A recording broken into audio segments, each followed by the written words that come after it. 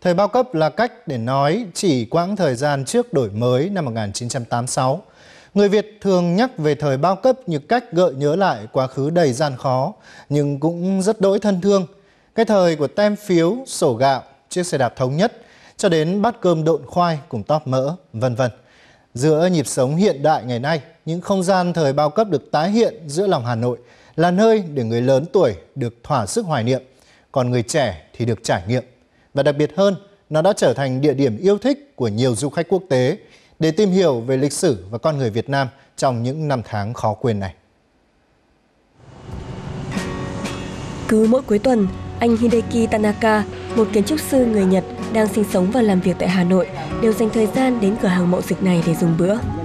Vốn có sở thích khám phá văn hóa ẩm thực Việt Nam, anh bị thu hút bởi cách bày trí hoài cổ với những tấm biển hiệu, đồ vật cũ kỹ, đặc biệt là những món ăn gia đình, rất khác với những món ăn Việt nổi tiếng mà anh từng biết như phở, nem, bánh mì.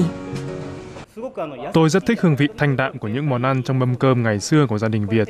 Điều thú vị ở đây là tôi dùng tem phiếu để mua những món ăn mình thích. Tôi không nghĩ ở Hà Nội cũng có mô hình này, rất giống với những quán ăn hay nhà hàng cổ kính tại Nhật Bản. Thật là hiếm có nơi nào mang lại cảm giác vừa mới mẻ, vừa thân quen như thế này.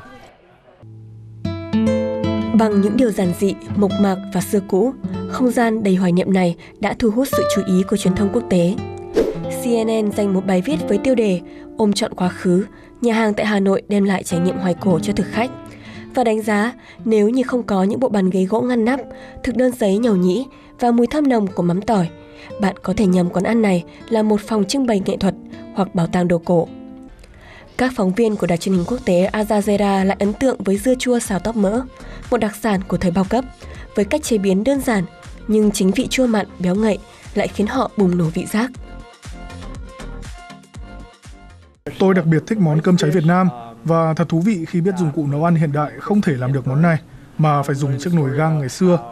Tôi có cảm giác như thời gian ngưng động lại và một phần lịch sử của Việt Nam đang được lưu giữ rất cẩn thận ở nơi đây. Đồ ăn ở đây rất tuyệt vời, thật sự rất khó để có thể tìm thấy một mâm cơm truyền thống miền Bắc như thế này. Với một bát cơm và những món ăn khác nhau, tôi có thể tự tạo ra khẩu phần ăn đặc biệt của mình. Chủ quán, chị Thanh Thủy, là người sinh ra trong thời kỳ bao cấp. Dù ký ức không còn quá đậm nét, chị vẫn khao khát tái hiện lại không gian này như một cách lưu giữ kỷ niệm của nhiều thế hệ. 12 năm qua, từng chiếc bát, chiếc đĩa sắt trắng men, đến chiếc quạt tay voi, bàn ăn được cải tạo từ máy khâu, được chị sưu tầm, nâng niu và gìn giữ. Những đồ vật này nó không thể có những cái không thể nào mua bằng tiền bởi vì nó trở thành một cái giá trị vô giá rồi. À, gia đình có và giữ lại và để làm kỷ niệm thì mang đến đây để lưu giữ tại đây. Mỗi khi à, mọi người đến với quán thì mọi đồ vật nó vẫn còn nguyên như thế.